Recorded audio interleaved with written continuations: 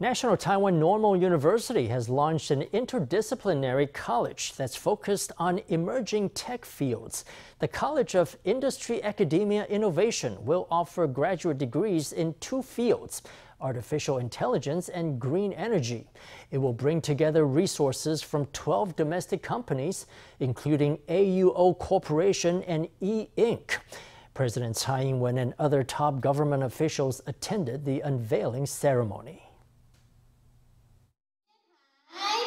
President Tsai Ing-wen, Education Minister Pan Wen-chung and business leaders stand side by side as they inaugurate the College of Industry Academia Innovation of National Taiwan Normal University.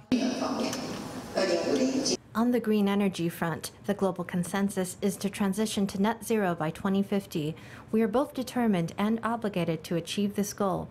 In the future, smart grids, energy storage, and conservation technologies will play a crucial role in the development of Taiwanese industry supply chain. To create the new program, National Taiwan Normal University partnered with 12 companies, including AUO Corporation, Kinpo Group, and E Ink, pooling resources in technology, engineering, and science. The goal is to cultivate interdisciplinary talent.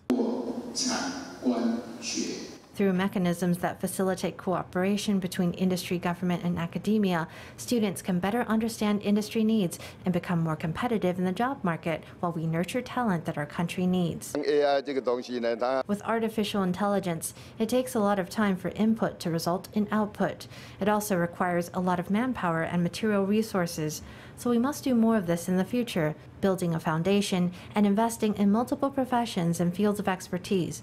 We'll find ourselves always having to push harder. The rise of AI has had an impact on industries around the world, rapidly increasing demand for AI talent. Schools are creating interdisciplinary departments focused on AI, in hopes that cross sector collaboration will nurture much needed talent and boost the nation's competitiveness.